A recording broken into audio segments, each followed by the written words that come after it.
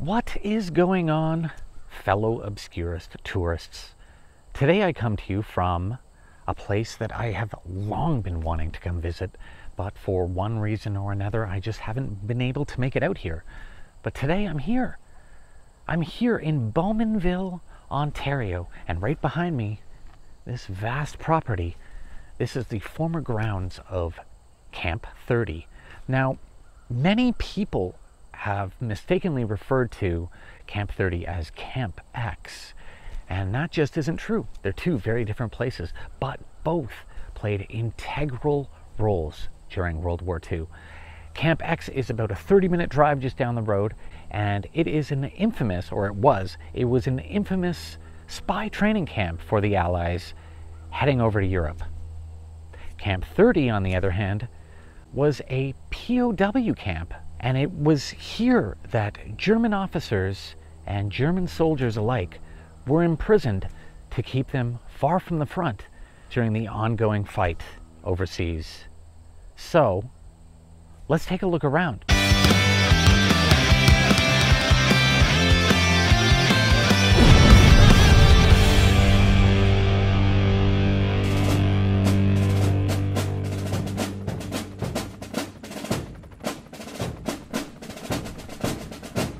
So this entire place and all the buildings on it were set to be razed by the government a few years back. But after much deliberation, there was a complete about face, and in September 2013, Camp 30 was designated a National Historic Site of Canada.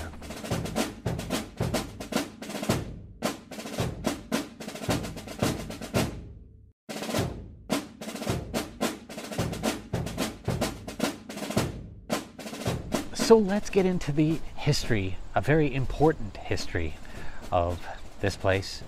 And it's one that I would like to say has been forgotten through time. But uh, I can honestly admit I was never taught this in school. No one ever mentioned Camp 30, and it's a very important part of Canadian and World War II history. So here's the million dollar question you're no doubt asking How the heck did a POW camp for Nazis come to exist on Canadian soil?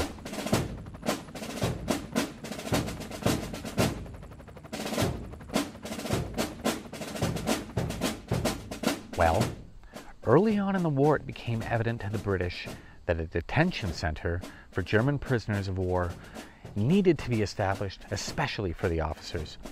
Adolf Hitler's bombing campaign in England had raised the possibility that England could be invaded by the Nazis and that German prisoners might be set free to return to battle. And not just return to battle on mainland Europe, but actually issue commands from within Britain itself. Because of this, the camp needed to be in a secure location, but still remain within a Commonwealth country, but as far away from Britain as possible and Camp 30 satisfied all these criteria. Now, the German officers were sent here, and of which 880 were high ranking German officers, were sent here to Canada. And ironically, it was just down the road from what I previously mentioned, Camp X. So you had a bunch of German officers here and a bunch of Allied spies just down the road. Couldn't write a better story. Now, the history of this property starts long before World War II. In fact, up until 1922, a man named John H. H. Jury had owned a 300 acre farm north of Bowmanville, which he called the Darch Farm. He decided to donate it to the Ministry of Education for a school to house boys who were getting into trouble and considered to be unadjusted. The school was to become known as the Ontario Training School for Boys. Several buildings were constructed, and the site was completed and officially opened in 1927.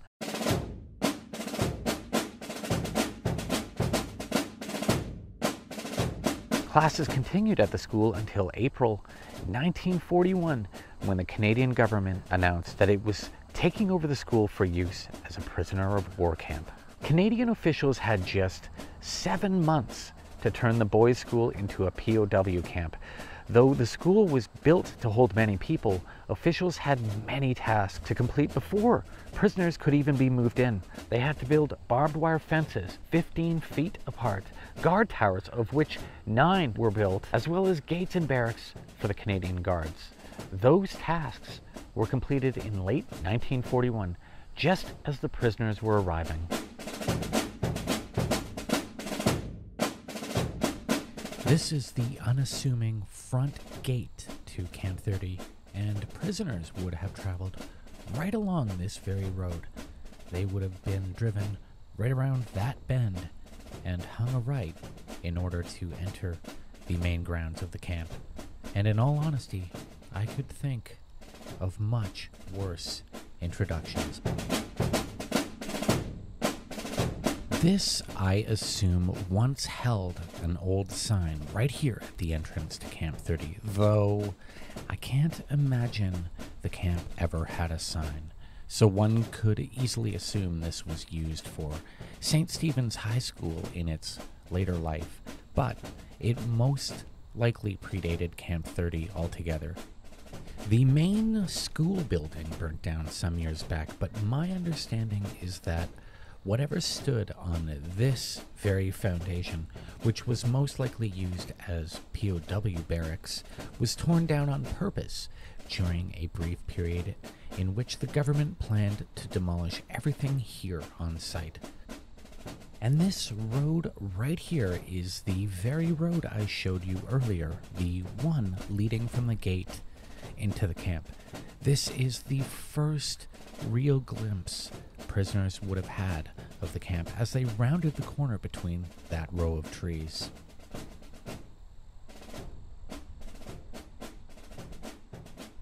This perspective from the west side of Camp 30 gives you a pretty good idea of just how big this property is. Also, due to its proximity to Lake Ontario and this being basically open farmland, I can only imagine how cold it must have been throughout the winters here. I suppose this building over here on the right, which had an indoor pool, probably got lots of use during those long, dark, frigid days of January and February.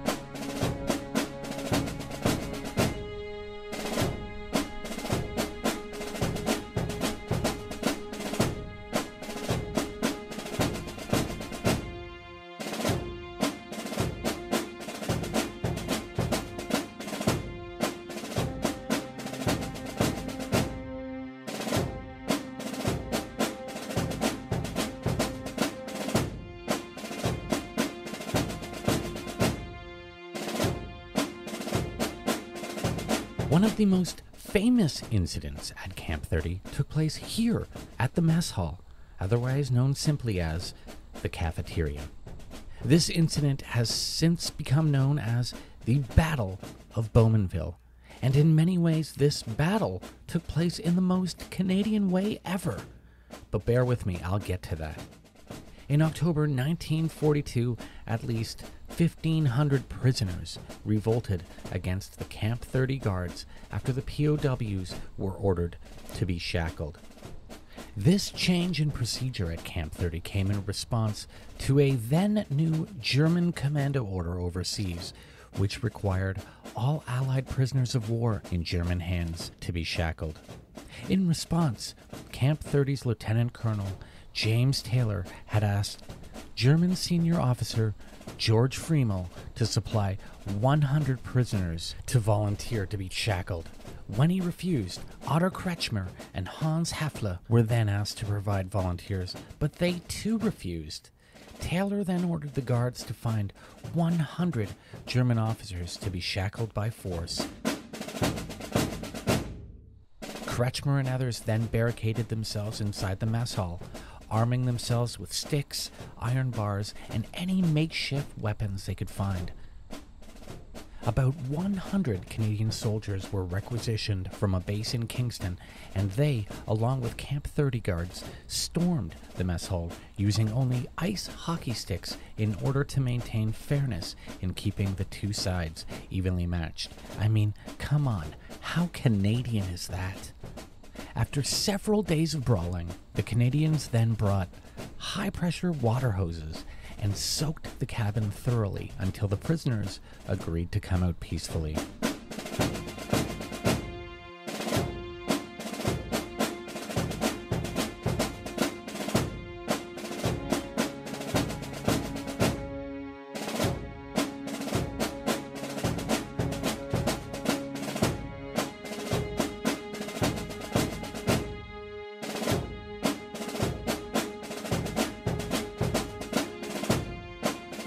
Now, it must be noted that before this incident at the camp, relations between the German soldiers and camp guards were more than cordial. In fact, the German prisoners were said to have been treated better than the actual citizens of Bowmanville itself. The prisoners often played tennis, ice hockey, and even drank and played poker during that first year at the camp leading a very different and comfortable daily life than the ones their countrymen were leading back home during wartime.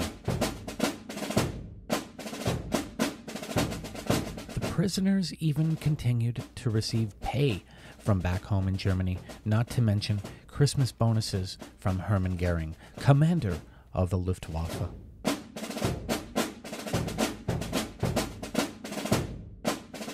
This allowed the prisoners to acquire a vast amount of goods. Even more, the prisoners were allowed to take day trips outside of the camp, solely based on honesty and honor. What a different time in the world it was.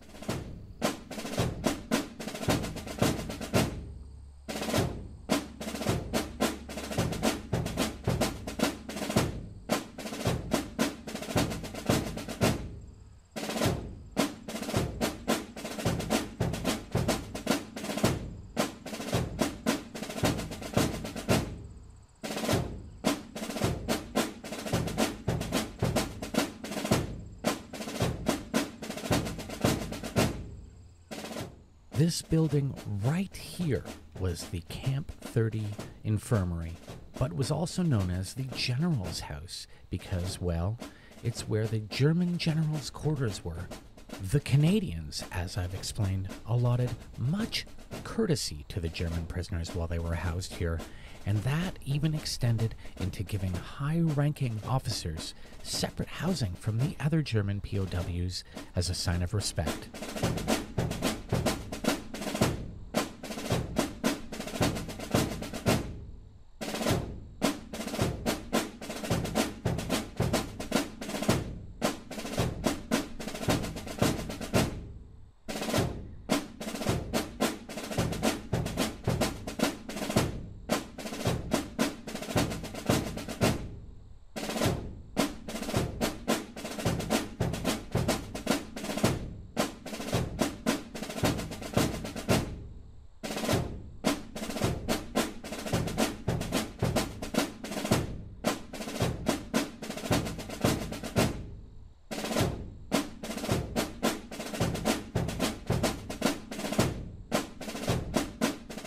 This depression in the ground over here on the northern edge of the property is where, I believe, the main school building once stood.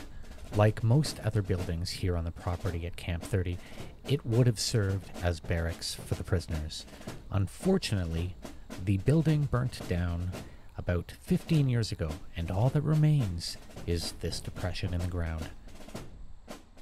Interestingly, one of my best friends told me she actually attended St. Stephen's High School when it was at this site in the 1990s, and I had absolutely no idea until I told her that I was making this video. Pretty cool, huh?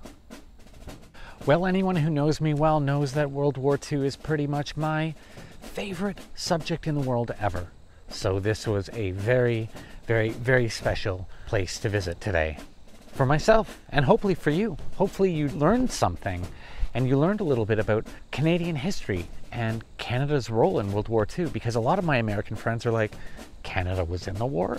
Yeah, yeah, we were. We were there before you. We also had this place. So, take what you will from that. Anyway, it's Obscurist Tourist from Camp 30 in Bowmanville, Ontario. Wishing you well, stay beautiful, follow my page, and until the next adventure, see you later.